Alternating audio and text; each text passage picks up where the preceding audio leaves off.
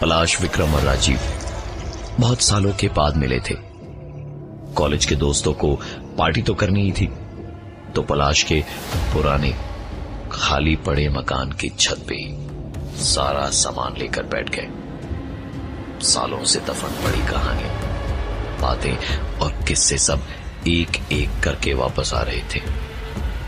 बातों ही बातों में उसी घर का ज़िक्र हुआ, जिसकी छत पर ये लोग बैठे थे। विक्रम और राजीव बार बार उस दिन की बात पूछ रहे थे, जिसके बाद से कॉलेज में भी पलाश शांत रहता था। पलाश थोड़ी देर चुप रहा और उसके बाद बोला, उस दिन मैं कॉलेज से थोड़ा जल्दी ही लौटा था। तुम दोनों टूर्नामेंट खेलने दिल्ली गए हुए थे। मेरी तबीयत भी ठीक नहीं थी तो मैंने सोचा कि घर जाके आराम कर लूँगा। घर पहुँचा तो देखा चारों तरफ़ भीड़ लगी थी। इसी घर में नीचे वाले माले पर वर्मा अंकल, उनकी बीवी और उनकी बेटी सोनाली रहते थे। मुझे गेट के बाहर से ही वर्मा आंटी के चिल्लाने की आवाज़ें आ रही थी। वो रोने की आवाज़ मैं कभी भूल नहीं सकता। मेरी माँ और मोहल्ले के और लोग किसी तरह चुप कराने की कोशिश कर रहे थे।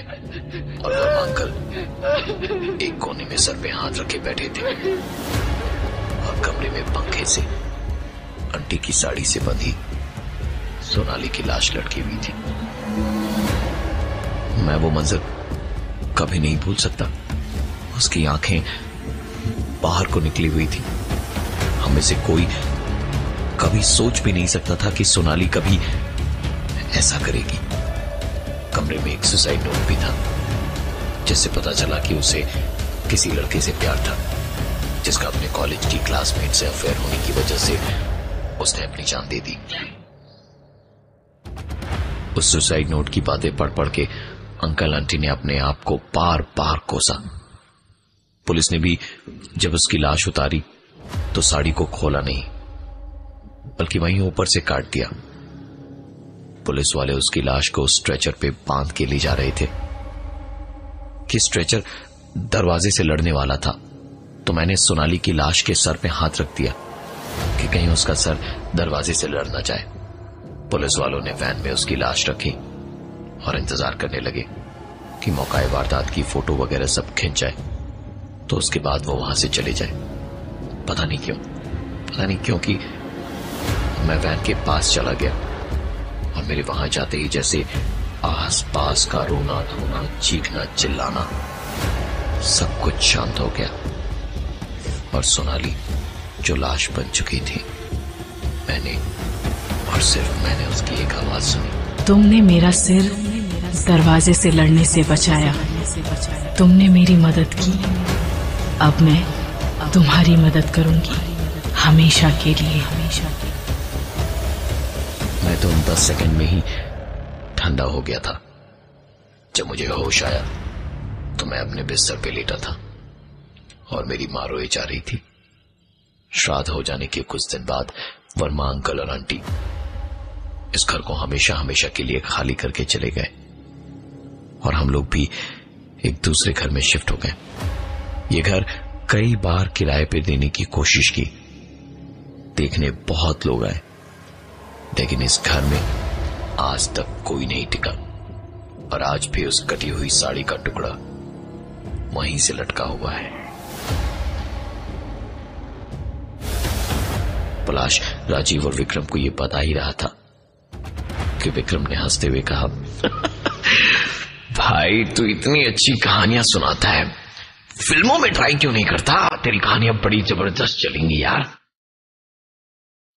पलाश को थोड़ा बुरा लगा। इसलिए उसने चिड़ते हुए कहा, तुझे यकीन नहीं? हाँ? तुझे यकीन नहीं हो रहा ना? चल, मैं दिखाता हूँ उस बंधी हुई साड़ी का टुकड़ा। पलाश उन दोनों को अंधेरे में मोबाइल के टॉर्च की रोशनी में नीचे लेकर गया। खाली बड़े मकान में सिर्फ़ सीढ़ियों पर उनके कदम की आहट गूंज रही थी। पुराना परसों से बंद पड़ा दरवाज़ा खोल। दरवाजे में पड़ी आवाज़ गई जो बेहद डरा कमरे में अंदर जाकर मोबाइल की रोशनी में बिना ऊपर देखे ही पलाश बड़ी खुशी से बोला, वो देखो, देख रहा है कि नहीं? धूल भरी साड़ी का वो बंधा हुआ हिस्सा।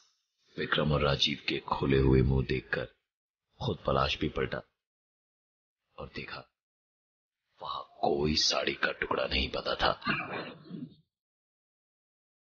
पलाश ने उन दोनों से कहा, एक मिनट रुको, मैं फ्यूज रूम से लाइट स्विच ऑन करके आता हूँ। यहीं पर है, मैं तुम्हें दिखाऊँगा। इतना कह के पलाश बाहर निकल गया कमरे से। फ्यूज रूम में पहुँच के मेन स्विच उसने ऑन किया। पूरे घर में एक एक करके सारी बत्तियाँ जली। वापस उस कमरे में दौड़ता हुआ आया तो पलाश एकदम खुशी से उछल पड़ा। उस साड़ी का टुकड़ा वहाँ वैसे का वैसा ही लगा हुआ था, लेकिन विक्रम और राजीव वहाँ नहीं थे। उसने कमरे में इधर उधर देखा, दोनों कहीं नहीं दिखाई दिए। तो बाहर निकल के पलाश चिल्लाया। अरे, कहा मर गए दोनों? विक्रम? राजीव? वो वापस अंदर कमरे में घुस ही रहा था कि मीटर रूम से एक आवाज़ सुनाई दी। इस बार पलाश ने मुस्कुराते हुए कहा अच्छा बेटा, मेरे घर में मुझे से मज़ाक। अरे, बचपन के गेम बड़े होने पर अच्छे नहीं लगते। ये बोलते बोलते पलाश मीटर रूम की तरफ़ जा ही रहा था। तो ज़ोर से मेन स्विच ऑफ़ करने की आवाज़ हुई और सारी बत्तियाँ बंद हो गईं। दोनों का नाम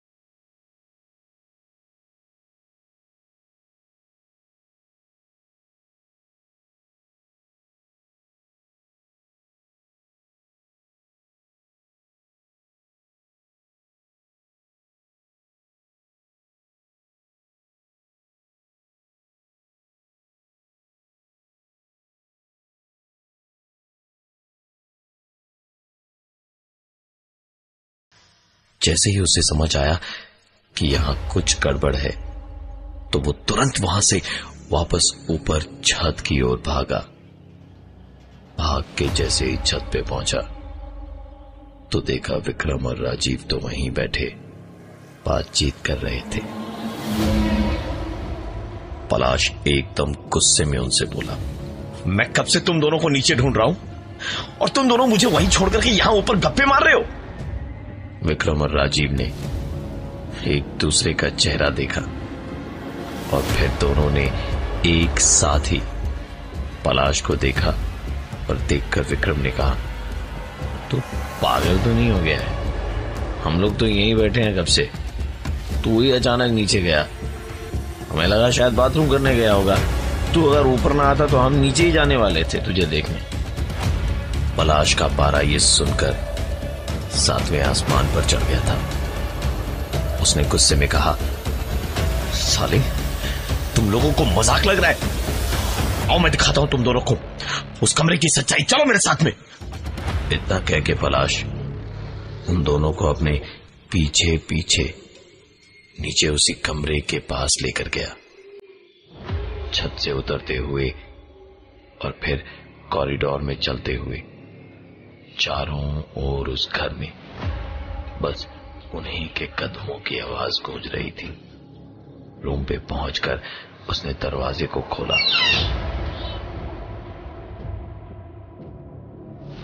और कहा, वो देखो, वो साड़ी का टुकड़ा जिससे लटक के सोनाली ने अभी जान दी थी। और इतना कह के पलाश पीछे पलटा और देखा, उसके पीछे वहाँ कोई नहीं था। वो सामने वापस घूमा। कमरे में चेयर ठीक। कोई साड़ी का टुकड़ा नहीं और उसके पीछे दोस्त नहीं। छत की ओर देखा तो वहाँ से भी कोई आवाज़ नहीं आ रही थी। चारों ओर खूब अंधेरा और सन्नाटा ही सन्नाटा। पलाश छत से आती हुई हल्की रोशनी के सहारे ही छत की ओर दौड़ा। दौड़ते दौड़ते छत के दरवाजे के पास पहुँचा ही था कि दरवाज़ा बहुत ज़ोर की आवाज़ के साथ उसके मुँह पे बंद हो गया। पलाश छत का दरवाज़ा पागलों की तरह खटखटाता रहा, लेकिन कोई फ़ायदा नहीं हो रहा था। इसी पागलपन के बीच उसे कुछ सुनाई दिया। पलाश! जिससे उसका ध्यान टूटा। पलाश! विक्रम और राजीव पलाश! उसे पुकार रहे थे। पलाश वहाँ से दौड़ के उसी तरफ़ भागा जहाँ से ये आवाज़ आ रही थी। इस वक्त पलाश वापस उसी कमरे तक पहुँचा जहाँ सोनाली ने आत्महत्या की थी। वहाँ जाकर देखा तो कुर्सी वापस पंखे के हुक के नीचे थी। हुक पर साड़ी का टुकड़ा बंधा हुआ था। कुर्सी पर किसी के पैरों के निशान थे। और पूरे कमरे की दीवारों पर लिखा था मिस्ड यू और एक आवाज़, बार बार। उसके बाएँ से बाएँ कान में गूंज रही थी। मैंने मना किया था ना। मैंने मना किया था। किसी को मत मेरे बारे में किसी को मत बताना। किसी को मत बताना। कि मेरे बारे में किसी को मत बताना मेरे बारे में किसी को मत बताना। पलाश के ठीक पीछे कमरे का दरवाज़ा ज़ोर की आवाज़ के साथ बंद हो गया। पलाश के पास चाह कर भी कोई रास्ता नहीं था भागने का। वो चारों ओर दौड़ा, भागा, लेकिन न दरवाज़ा खुला, न ही खिड़की। बाहर खिड़की से झांका तो राजीव और विक्रम ने देखा, पलाश उसी हुक पे एक साड़ी बाँध रहा है और हंसता हंसता अपने आप से बातें कर रहा है। तो बिना पागल है। आ रहा हूँ बाबा, पाँच मिनट रुकना। एक हेल्प तो करनी रही है मेरी इसे बांधने में। अच्छे से टाइट बांधूँगा, तभी तो जल्दी तेरे पास आऊँगा ना। राजीव और विक्रम से खिड़की पीटने लगे। खिड़की पर होती धम धम सुन के जैसे पलाश नींद से जगा हूँ। आँखें मलता हुआ इधर उधर देखने लगा। और फिर हार कर आखिर में पलाश खुद ही रो पड़ा। और घुटनों पर बैठ के रोते हुए बोला, मैं नहीं जानता था तुम्हारे बारे में।